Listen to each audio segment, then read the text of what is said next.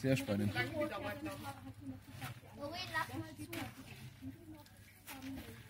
Vor allem, wenn du mal wieder aus Versehen Wasser im Keller hast. Wie aus Versehen. Ja, weil Regen und blöd und Ja, aber bei der Bombe, weißt du, da bleibt halt einfach 10 cm stehen. ja, 5 ungefähr waren es bei mir. Aber die anderen 10 cm waren einfach schon weg.